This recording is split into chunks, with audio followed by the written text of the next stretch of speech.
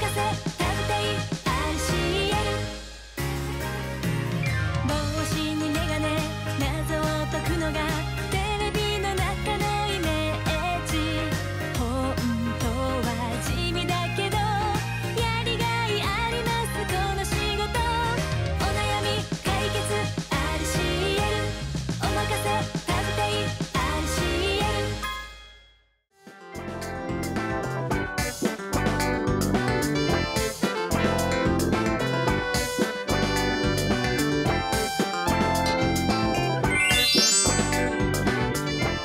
皆様こんにちは現場の庄司ですそしてライフアップカウンセラーの岡夏子です。もう二人がね待望のゲスト今月はもう本当に忙しくて絶対捕まらないと思ったら捕まえましたもう素晴らしい。素晴らしいお願いします。どうも皆さんありがとうございます。前からこの顔なのそうですよね。ねお久しぶりです。本当にであの10年も前からそうなんですよね。そうよくね和田アキ子さんの番組とかにね、うんお見えになったりそうなんですよ。あの和田アキ子さんというとね、あの手相で言うとね、あの頭脳線が非常に短いという。短い。大丈夫ですこれカットしなくていいんこですか？れ全然大丈夫あのご本人にお伝えしてますんで。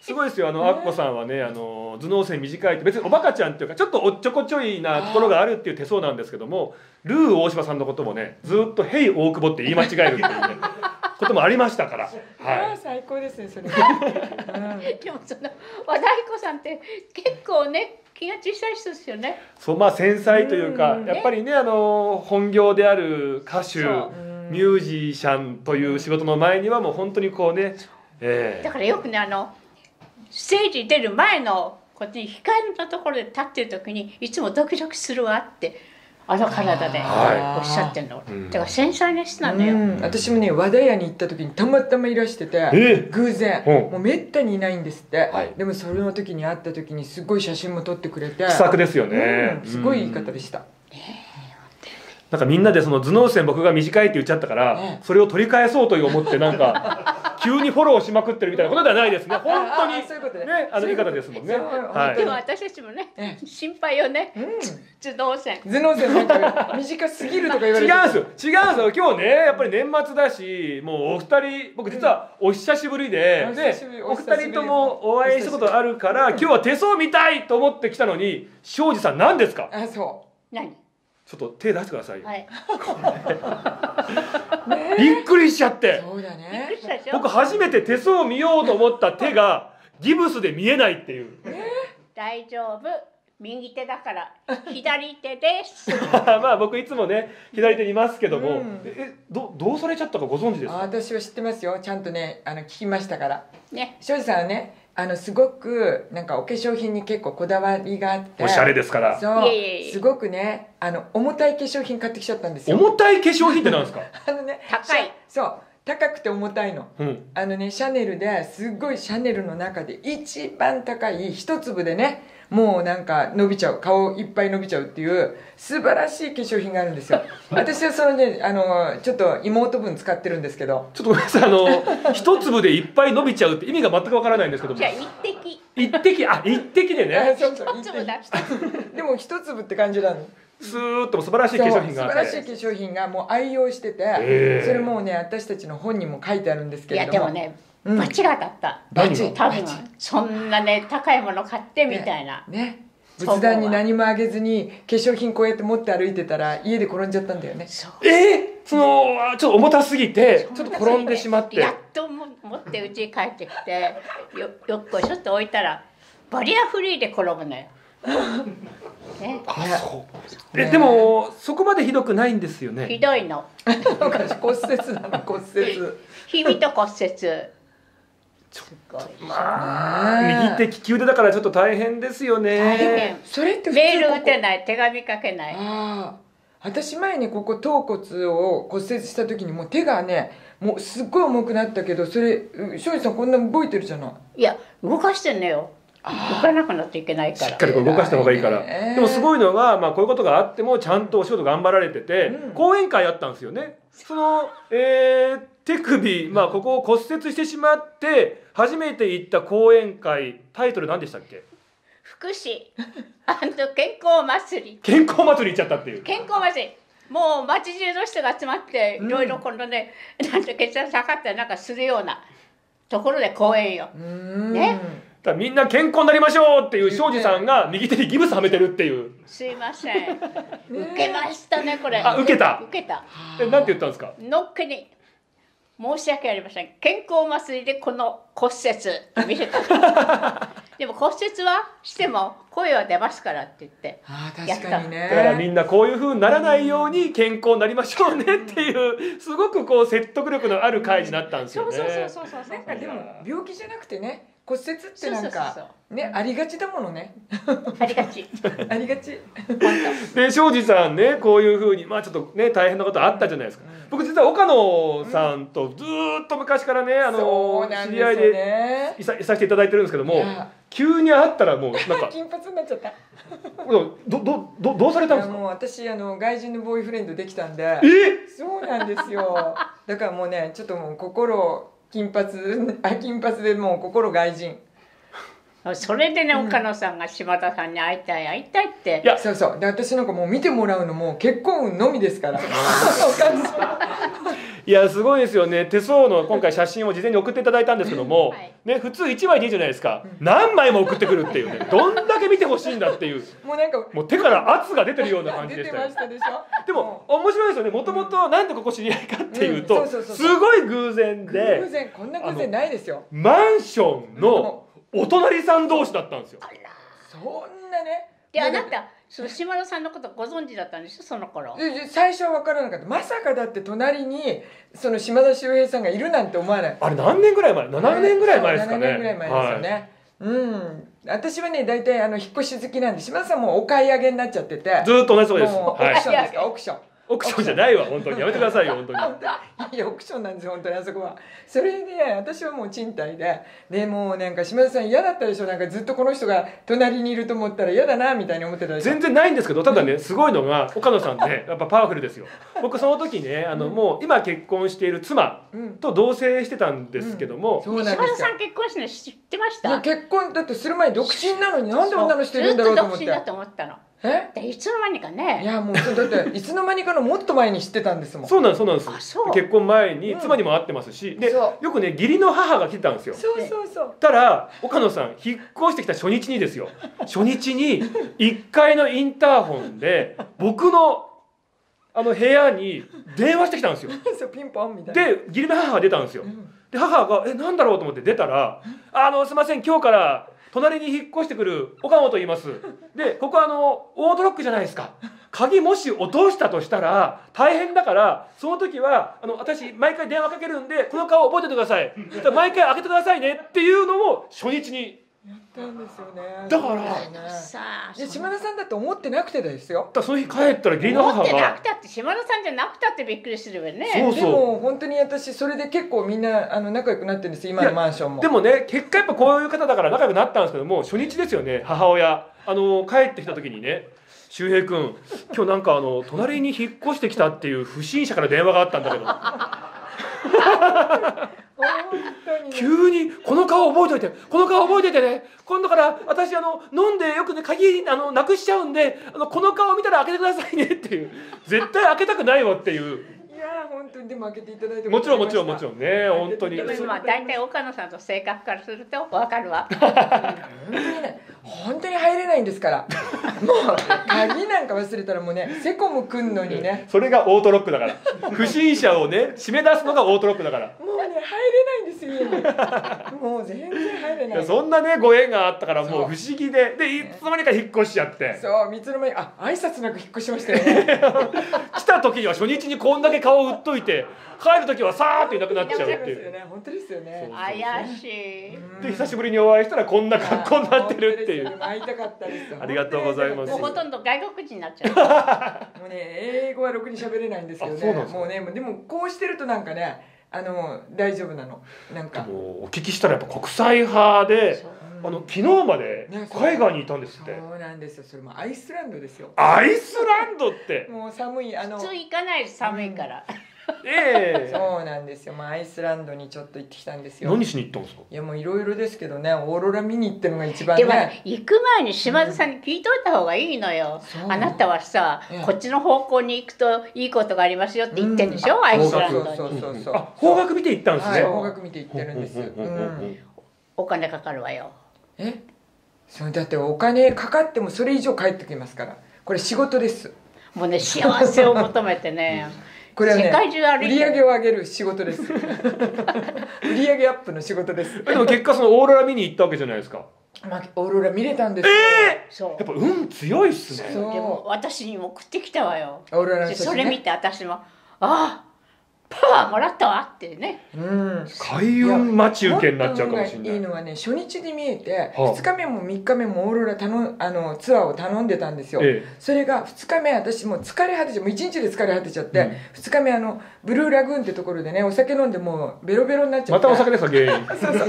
それでもう寝込んじゃってもう私行かないみたいなこと言ってたんですって、うん。そしたらなんかみんなは行ったんですよ。そして私夜中に起きてああって私なんか行けばよかったなってすごい後悔して、ポジティブな考えにネガティブからポジティブに考えるのに30分かかったんですよ。そしたら朝起きてみんなどうだったオーロラって言ったら実は中止になっちゃったんですとかえそして私たちは待ちぼうけ食らっちゃって連絡もなく40分も寒いところで待ったんですって。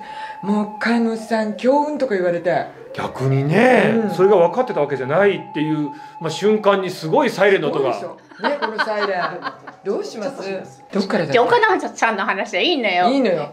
いやいやいや オーロラでもオーロラうん島田さんの話しないとさそうそうそう。オーロラよりもね私がねアイスランドで見てきたオーロラよりもう運気のアップを ね島田さんはできる人だから。オーロラよりすごいそんな人間います？いましたここに。いやありがとうございます、だってあれ？原宿の母に教えてもらったんですか？そうなんです。師匠が一応原宿の母えでして僕もねあのいろいろこう勉強して免許改伝あんた名前あげるって言われたんですよ。であんたどこ住んでんの？ああ代々木です。あじゃあ名前は原宿の母の弟子で代々木の老いって言われたんです。よ あれちょっと距離感ないかと思ったんですけど。代々木の老い？老いです。うん。息子じゃないです。老いですでも島田さんそれ例えば原宿の母に教えてもらうと島田さんみたいにこう才能が開花するの？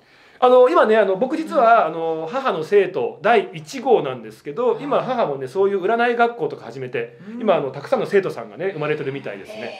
はい、で実はねあのあんま言ってないですけど僕にも一人芸能界に弟子がいるんですよ。最近幸せをつかんだ誰？お笑い芸人。誰でしょう？ああえ？分かった。山ちゃん？え？え違うか。え？誰？分かった。誰？あの人。どの人？ちょっと名前出てこない。でもそれ。それ分かってないじゃないですか。分かってるって。えちょっとえどどどんな方ですか？え？あの眼鏡かけて。うん、それであのワイドショーで裏で喋って。ああ天の声。うん。それ私が今言った人じゃない。違う？あの南海キャンディーズの山ちゃん。山ちゃん。蒼井優さんと結婚されて幸せをつかんだ。正解です。ああ正正解考えいいわね解ね私もっと先に考えよかったんだけど。なんでここ張り合ってるんですか。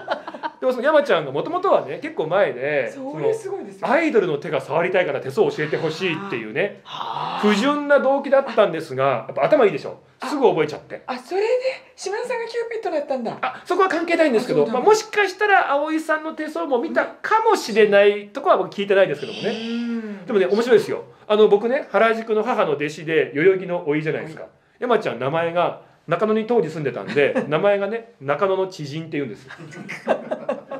最高。もう関係なくなっちゃったっていう。うんすごい。でも島田さん教えるとやっぱり山ちゃんもちゃんと覚えるんだ。山ちゃん頭いいですからねもう。頭いいですね。天才ですよね、そう。うん回転早いし、うん。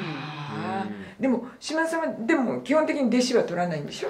まあ僕なんかねちょっとそんな弟子なんか取れる感じじゃないのいやでいやとんでもないですよ。日本一でしょだって日本なんか全然ダメですよ。よそうよ。だって北川景子さんと結婚があってたもんね。くご存知で知っていただよいて。く知ってますよ。いやでもラッキーパンチですけどね。もう数多く占ってるからそのうちのいくつかは当たるだろうぐらいな感じで。でもねな私かなかすごい。シングルズですから今結婚当ててもらいましょう庄司さん。今 今日ここに来てね僕は結婚運を見に来るってことだったんですか？いえいいえ。私は願ってますけどね。庄司さんはねパパが仏壇のパパが怒っちゃうもんね。もう化粧品買っただけで怒っちゃうんだから。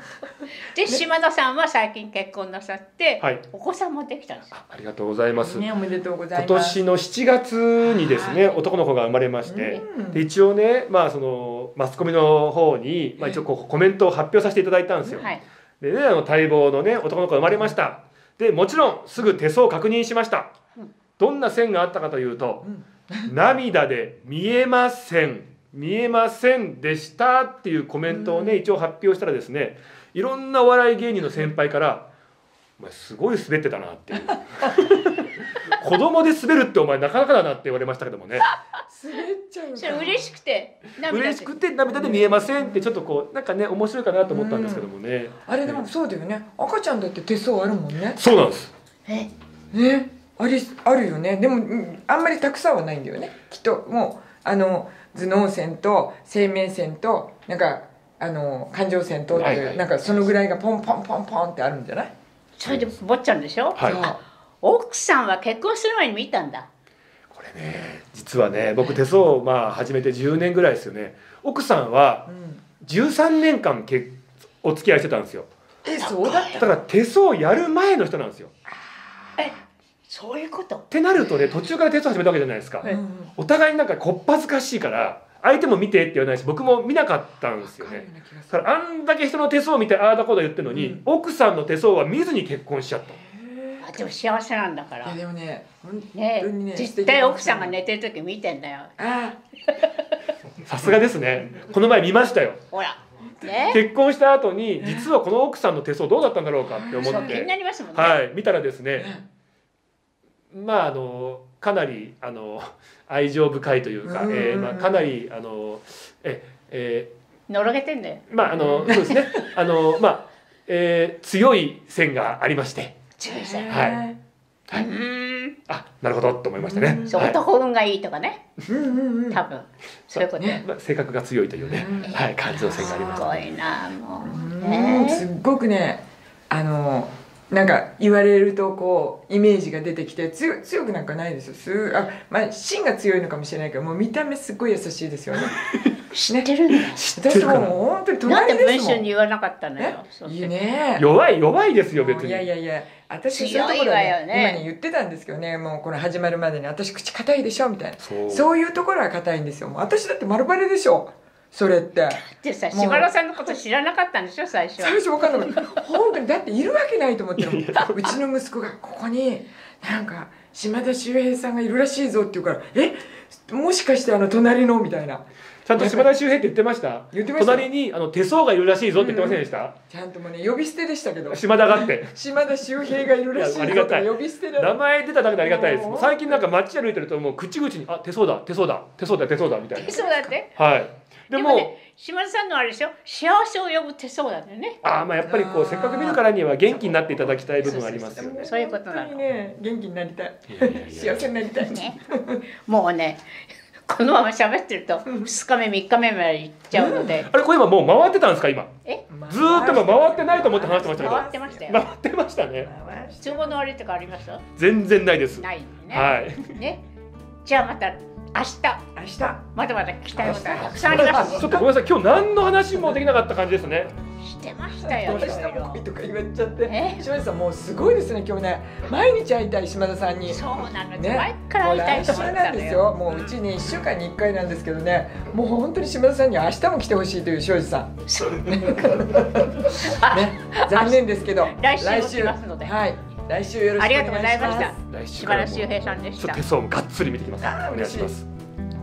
新大人の時間毎月多彩なゲストをお迎えしてお送りします。毎週水曜日お昼に更新します。チチャンネル登録よろしくお願いします